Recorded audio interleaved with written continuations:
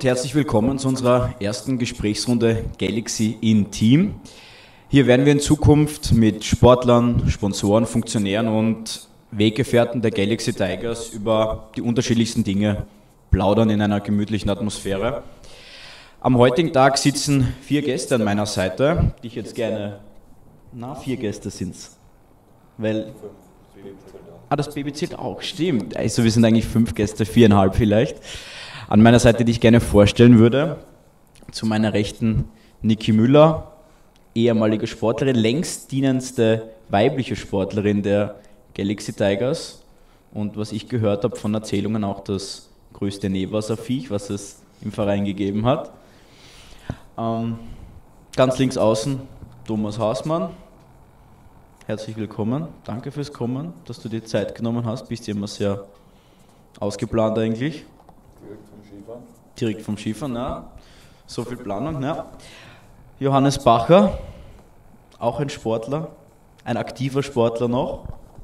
Auch danke fürs Kommen und Gabor Geier, bist noch für die Bundesliga zur Verfügung, aber nie aktiv nicht mehr so viel unterwegs, gell? Eher wenig. Kindertrainer. Kindertrainer, genau, stimmt. Ja, fangen wir mit dir an, Niki. Du machst jetzt seit wie vielen Jahren Judo? Seitdem ich fünf Jahre bin, also seit 22 Jahren. Also mit 14 bin ich ein bisschen ins kalte Wasser gesprungen. Da hat der Thomas eigentlich von einem Tag zum anderen zu mir gesagt, Niki, ab morgen machst das du, Dienstag und Donnerstag. Und dann bin ich ja, ins Wasser gesprungen das hat aber von Anfang an eigentlich gut geklappt. Am Anfang halt nur für die ganz Kleinen und dann eigentlich immer länger und immer größere Kinder auch. Das heißt, du machst eigentlich schon dein halbes Leben lang Kindertraining? Ja, genau. Jetzt werde ich heuer 28 und seitdem ich 14 bin, mache ich da das Kindertraining, ja. Und für alle, die sich jetzt vielleicht fragen, warum viereinhalb Gäste, herzliche Gratulation noch einmal, genau.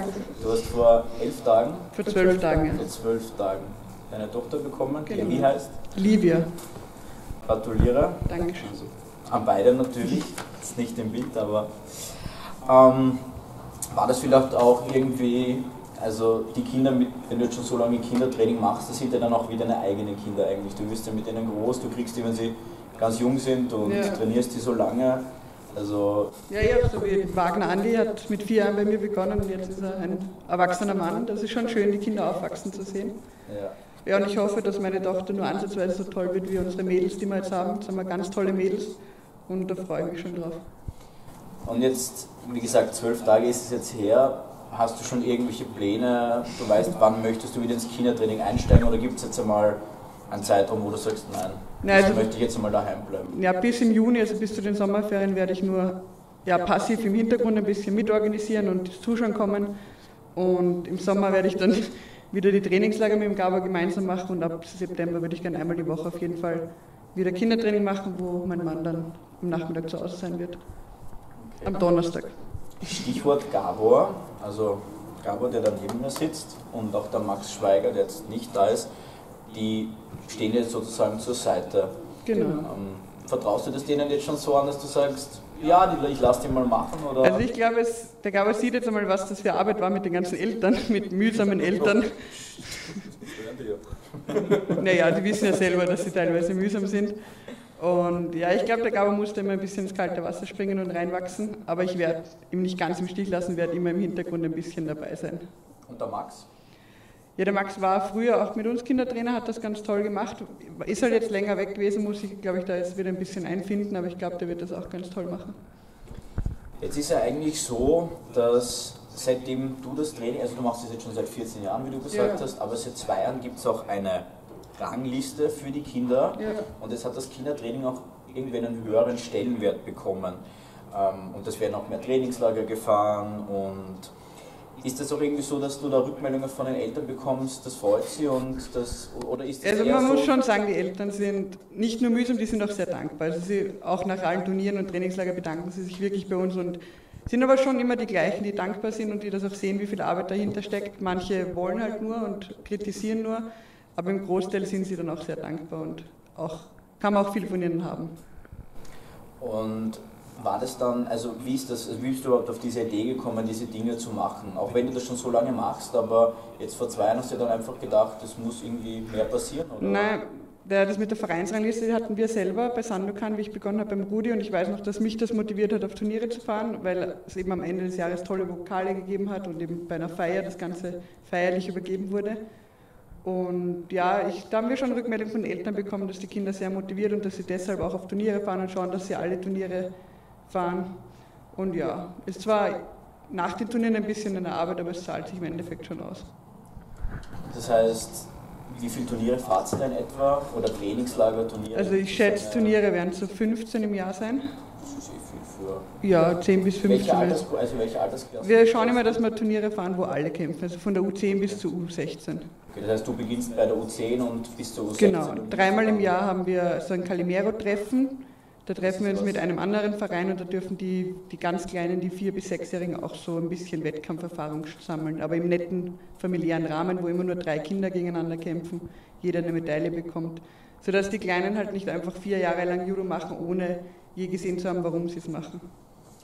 Und Trainingslager, das wird ja dann wahrscheinlich auch für viele das erste Mal sein, dass sie weg von daheim sind, alleine sind, ohne Eltern. Genau. Bist du dann auch irgendwie so die Mama-Rolle? Also, also eher ist der Gabor schon, ja.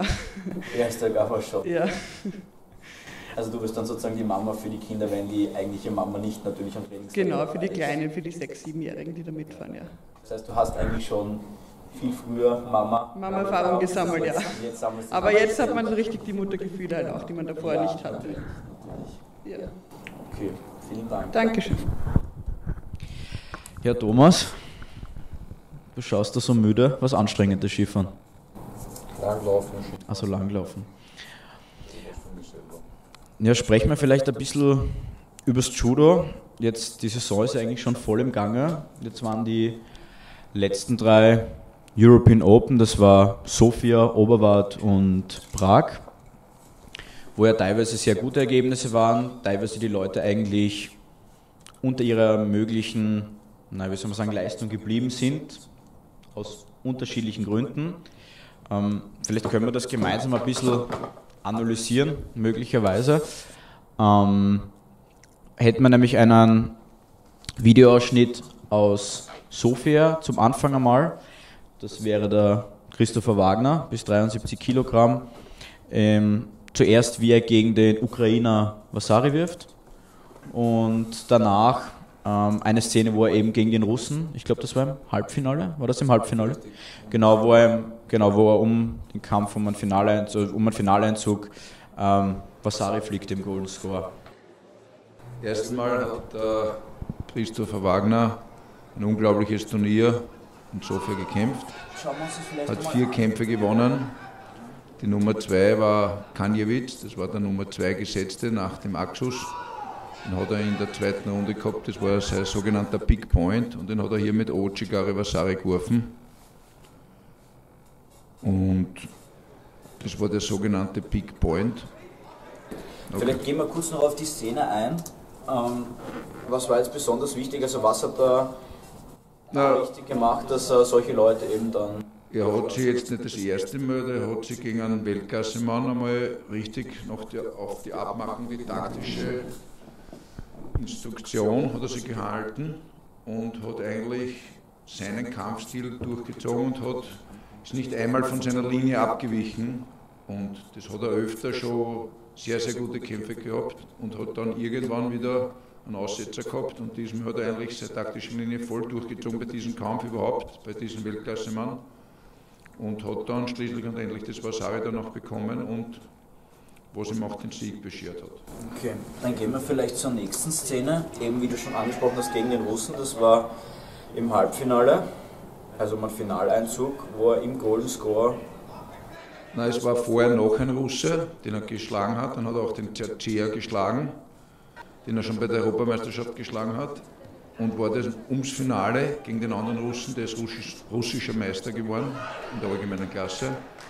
Und er hat den Kampf eigentlich geführt und bestimmt war mit Anshido, glaube ich, schon vorne oder zumindest gleichwertig. Also früher, zu meiner Zeit, hätte er den Kampf sicher mit Handei gewonnen. Und im Golden Score ist er komischerweise immer schlechter geworden. Weiß man nicht warum, er den Kopf weiter runtergegeben, was nicht ausgemacht war. Und ist dann schließlich und endlich Uchimata geflogen, was man Asari geben kann oder auch nicht, aber es war okay. Und hat es eigentlich selber zuzuschreiben, wer hätte das Turnier locker gewinnen können. Aber das sind eben so Kleinigkeiten, was es ausmacht, ob man Weltklasse ist, absolute Weltklasse oder am Weg dorthin. Und der Christopher ist am besten Weg dorthin, muss die kleinen Fehler noch ausbessern oder an sich arbeiten. Das ist eine reine Kopfgeschichte gewesen. Vielleicht, weil man auch sieht im Video, dass es im Golden Score war, diese Wertung vom Russen. Es war jetzt schon des Öfteren so, dass Sportler aus dem Verein eigentlich den Kampf über dominiert haben und dann im Golden Score auch, also nicht einmal aufgrund von mangelnder Ausdauer oder was auch immer, sondern einfach blöder Fehler, ähm, den Kampf dann schlussendlich doch verloren haben. Mit was glaubst du, könnte das zusammenhängen, beziehungsweise wie kann man das ändern? Weil wenn es nicht an der Ausdauer scheitert und der Kampf eigentlich vorher dominiert wurde, muss es ja irgendeinen Ausschlagspunkt geben, warum das dann schlussendlich doch immer passiert, dass man dann das Golden Score verliert. Wie reine Kopfgeschichte. Absolut reine Kopfgeschichte. Wie wir sehen dann nachher, der Adam Boraschwili in Prag, selber in Teto, führt den Kampf mit zwei Shido kriegt der Vasari, kriegt fast der Hansokomake, heute am 9 Sekunden fest, ist Golden Score, trainiert, fünfmal in der Woche Ausdauer, reine Kopfgeschichte. Ich glaube, jetzt spielt man eh den Kampf ein vom Adam gegen einen Italiener, gegen einen Bruno. Ganz ein sensationelles Turnier gekämpft, der Adam, das erste Mal in seinem Leben. Ich glaube, das war gegen einen, gegen einen Ungarn, Wegwari. Okay. Das war auch so eine Leverser-Situation. Ja, wo er nachgegangen ist. Also das war jetzt gegen einen. Gegen einen Bruno, richtig. Da ist er mit zwei Ski da vorne. Schiedsrichter haben auch besprochen, schon im, den Italiener das Honzo Comacchi zu geben. Ich glaube, das kommt erst bei dieser Situation. Ja, ja, da, genau. Oder Vasari für den Adam. Ich sehe dieses erste Mal ein ganz klares Vasari für den Adam.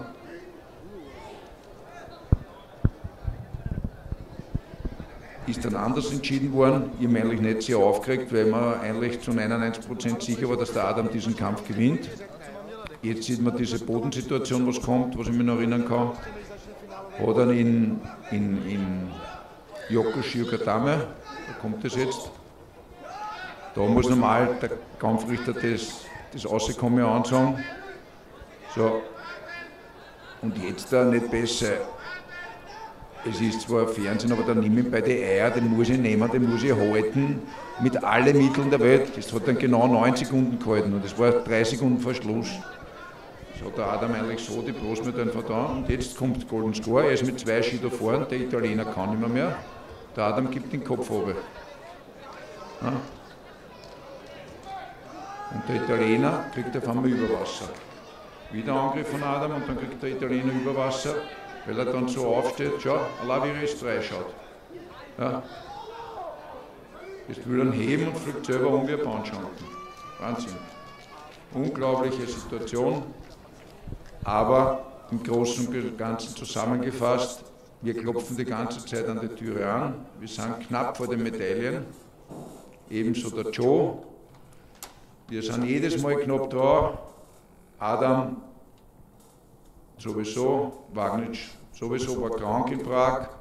Bach hat einen sensationellen Kampf gehabt gegen Klammert, hat vorher den georgischen Jungstar imponisiert am Boden und gegen einen Spanier, den glaube ich in Österreich keiner schlagt. Sehr, sehr gut gekämpft, ist auch bei seiner Linie geblieben.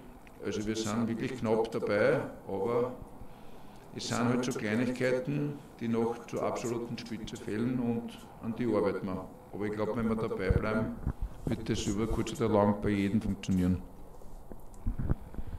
Jetzt haben wir vorher gesehen, ähm, eine Bodensituation vom Adam, wo er den Gegner abgehebelt hat, also sehr stark am Boden gemacht.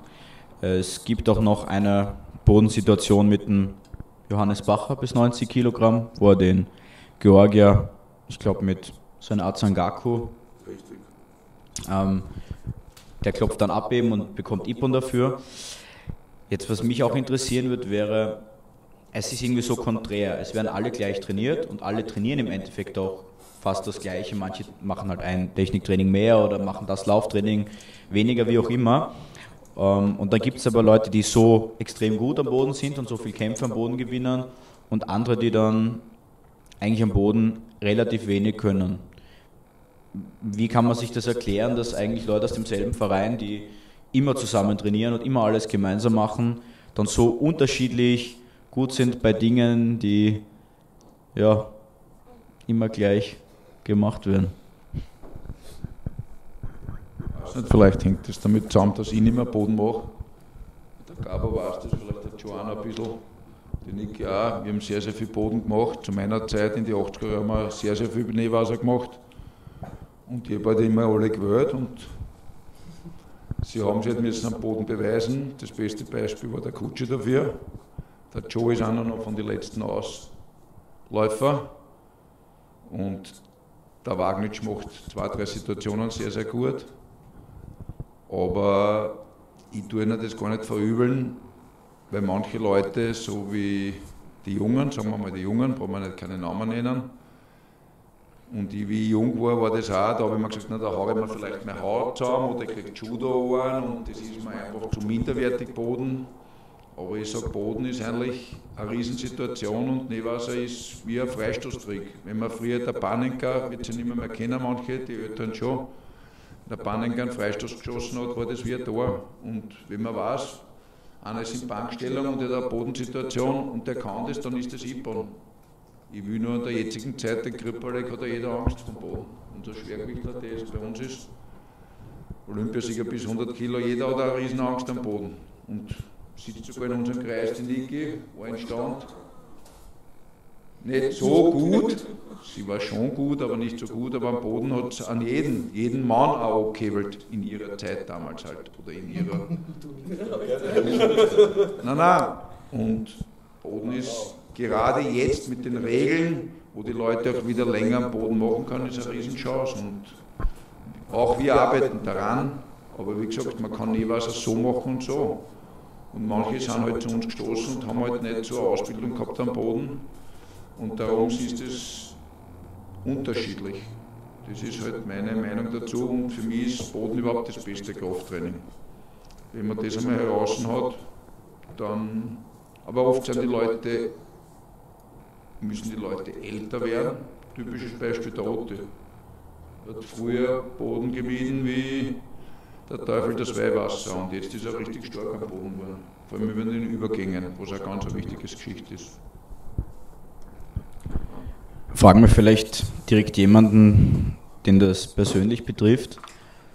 Thomas hat eben gerade gesagt, du kommst noch aus der alten Schule, bist jetzt eigentlich einer von den ja, Sportlern, die am längsten bei Galaxy dabei sind, mit dem Kudi noch gemeinsam und mit dem Nick, genau. Ähm, ja, wie, wie kannst du dir erklären, dass du so gut geworden bist am Boden, beziehungsweise was hast du vielleicht anders gemacht, dass du ein Bodenviech geworden bist und manche nicht?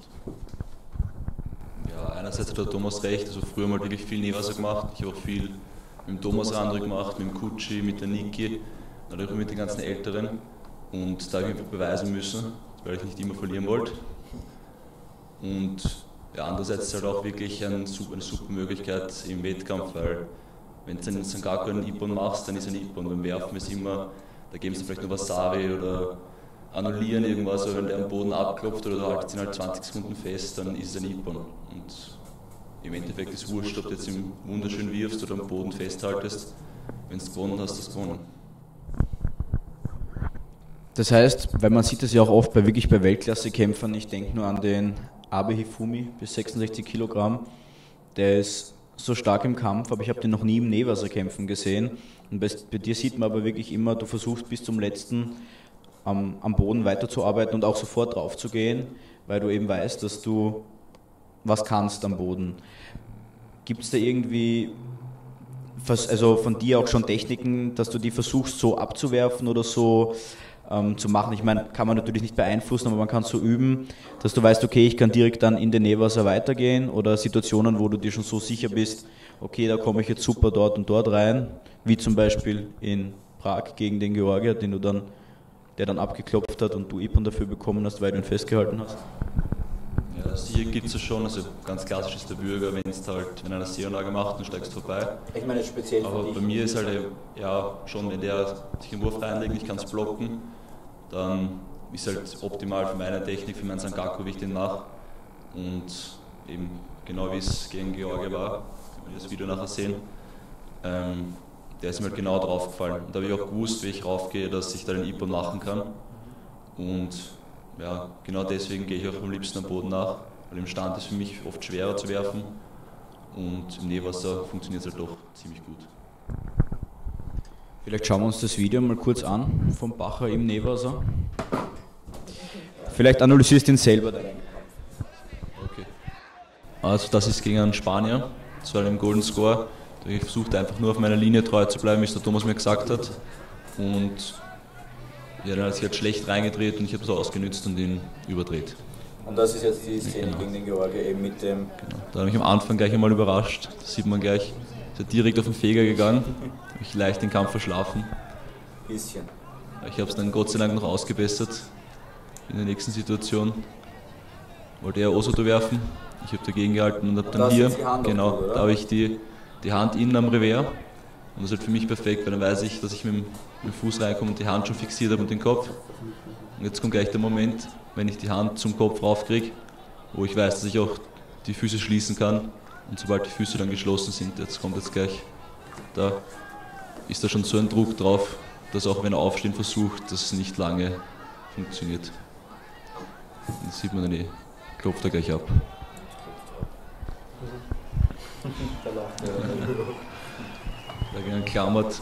Habe ich auch versucht, meiner Linie treu zu bleiben. Das hat auch gut funktioniert. Ich habe ein bisschen zu wenig angegriffen.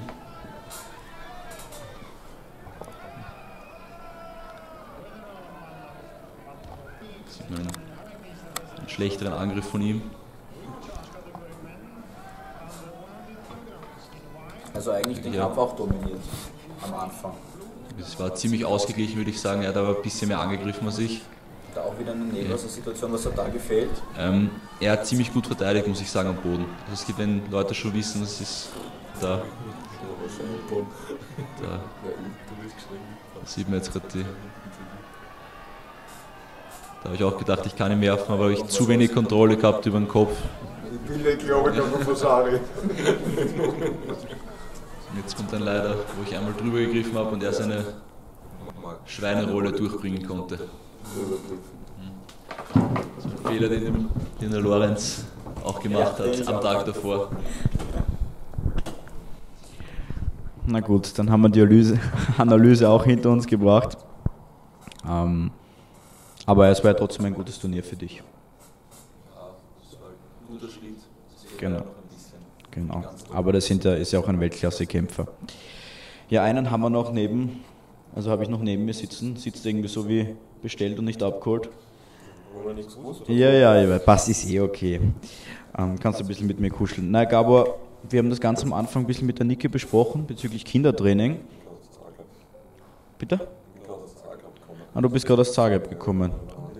Ja? Okay, dann plaudern wir ein bisschen über den Andi. Stimmt, wenn du direkt aus Zagreb hergekommen bist. Ähm, das heißt, du machst jetzt die Älteren auch schon mit. Also nicht nur die Kinder, sondern auch die älteren Kinder der Mann ist, mache ich alles. Ich war gerade in Zagreb. Andi hat, ein, er hat leider hat drei Kämpfe gewonnen, super gekämpft also und leider unverdient nichts bekommen. Weil so viele Leute sind. Ja, Wahnsinn. Drei Kämpfe gewonnen und darunter war der Italiener, der Folonica gewonnen hat, vor ein paar Wochen erst. Den hat er geschlagen. Und den Russen hat er geschlagen der auch ein Wahnsinns-Judo gemacht hat. Ich habe es mir ja vorher angeschaut, seine Kämpfe.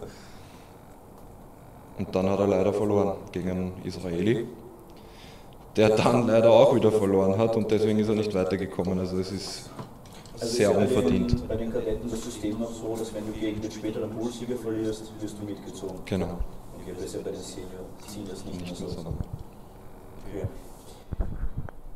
Gut, das heißt, du kommst jetzt direkt aus Zagreb, aber deine eigentliche Hauptaufgabe, auch hier bei den Galaxy Tigers, ist ja das Kindertraining, also wirklich mit den Kindern von der U10 aufwärts bis zur U16, genau.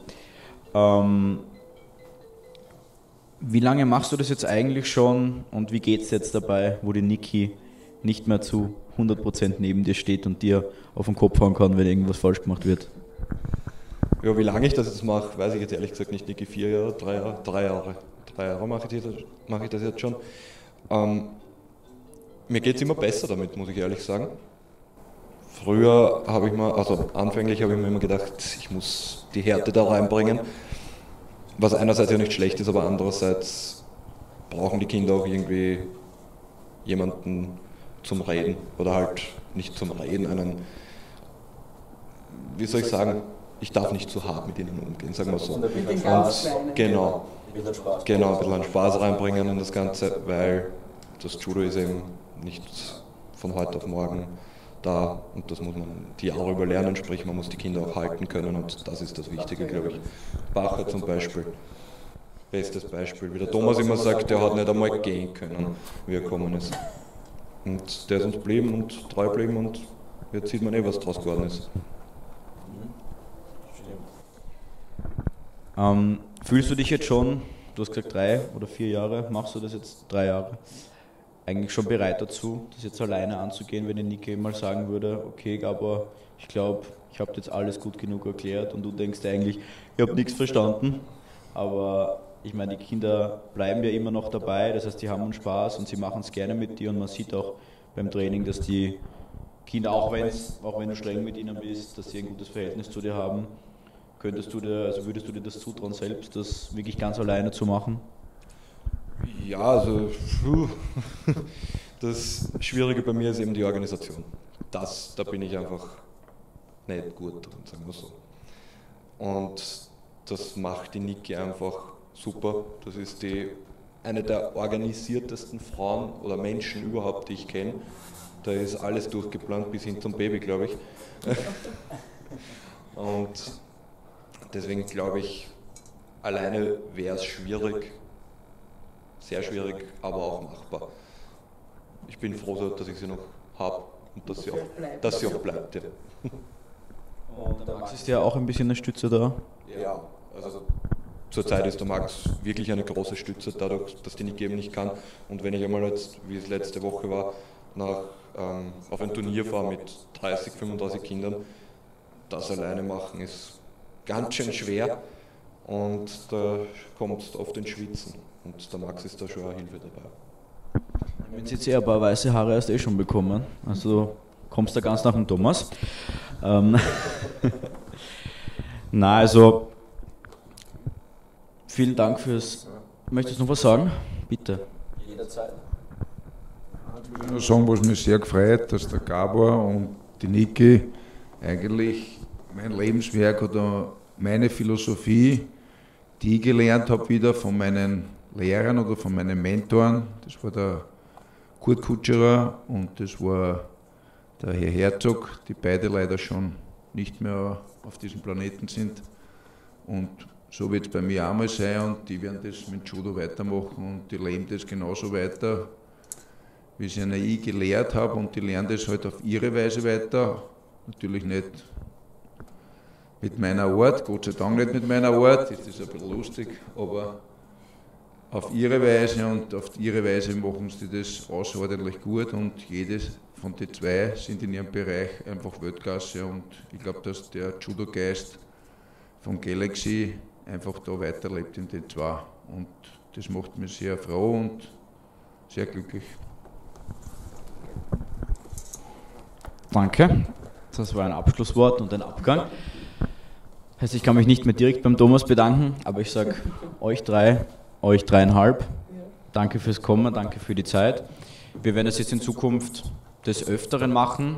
Wir wissen noch nicht genau, wie oft oder in welchem Zeitraum das immer passieren wird, aber danke auf jeden Fall auch fürs Zuschauen und ich hoffe, es hat allen gefallen. Vielleicht, wenn jemand Anregungen oder Interessen an irgendwelchen speziellen Themen hat, können Sie uns das gerne schreiben. Wir greifen das dann natürlich auf und werden es beim nächsten Mal einbauen und schauen, ob wir Leute dazu bekommen, die mit uns darüber sprechen können. Und ja, jetzt bleibt mir eigentlich nicht mehr viel zum Sagen als ja, genau. Das sage ich nicht, nein.